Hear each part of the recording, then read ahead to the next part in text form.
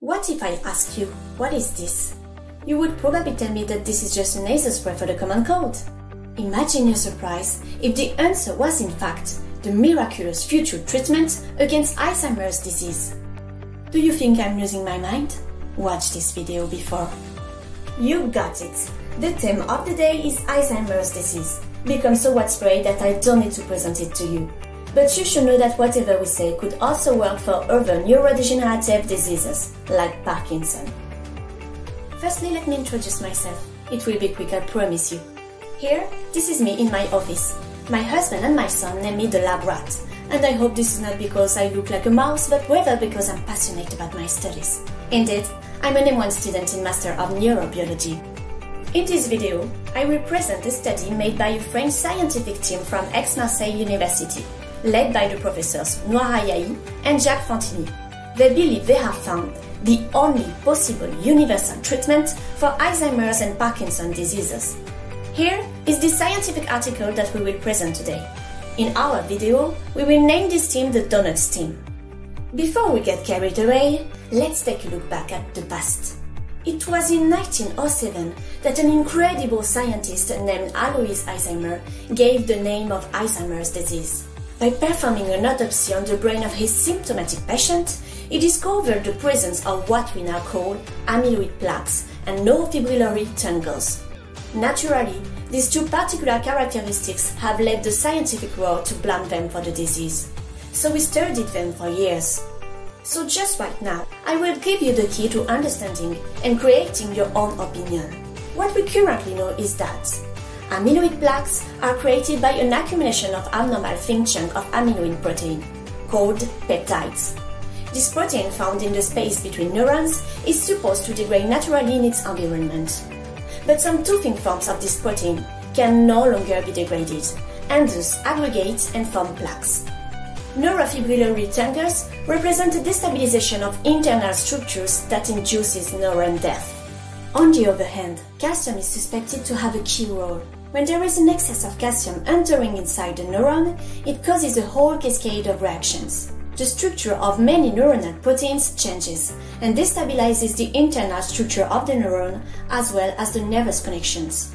This mechanism is a key that can explain its death. But what remains unknown to this day is how all of this can set up. For decades, therapeutic trios have been based on symptomatic treatment of the disease and the destruction of amyloid plaques. Unfortunately, you know as well as I do that today this disease continues to impact the lives of more and more people. Faced with this situation, Donuts team and other scientists around the world highlighted several elements that call into question our previous vision of this pathology. The first one is that we discovered the presence of these plaques in many healthy subjects. Secondarily, many therapies tested attacking these plaques had to be stopped prematurely due to dramatic effects. Thirdly, despite decades of research targeting aggregates, we still don't understand the mechanisms involved and source treatments. And the most important for them is that studies that we don't yet talk about enough highlighted the neurotoxicity of a smaller, isolated, and free form of amyloid protein, which is named an oligomer. For Alzheimer, we are mainly talking about the oligomer beta 142. So what if we change our medical perspective about Alzheimer's disease by changing the culprit? This is what the Donuts team believes in. They think that we should see Alzheimer's disease as a membrane pathology, involving the binding of these oligomers with membrane lipids. This binding would induce a change in the shape of these oligomers, allowing them to enter the membrane. When a certain number of oligomers do it, they assemble themselves in the form of a donut in the membrane. This is named an amyloid pore. This hole imposed in the membrane of the neuron allows a massive entry of calcium inside the cell and then induces the chemical cascade of which we spoke earlier. To confirm this theory, Donuts team carried out several experiments. Firstly, they wanted to know if the presence of amyloid oligomers near a neuron can induce a massive entry of calcium inside the cell. If this turns out to be positive, it would mean that it's bound to the membrane and form the pore. Secondly, if the first experiment turns out to be conclusive, the Donuts team want to find out how oligomers can bind to the cell membrane. For doing this, they have to consider the membrane as a boat of fat. In scientific terms, we call it a lipid bottle. And to find out what type of lipid the oligomers bind to. After having determined which lipid could be involved, the team have to prove that no pores can be formed if this lipid is absent on the membrane. In the hope of therapeutic application, and using an artificial peptide that they will have created according to their results, they want to know if an attempt to block this binding would also block the cascade reactions. If this last step works, this artificial peptide could then be a key for further treatments. I'm very happy to tell you that all results were an awesome success.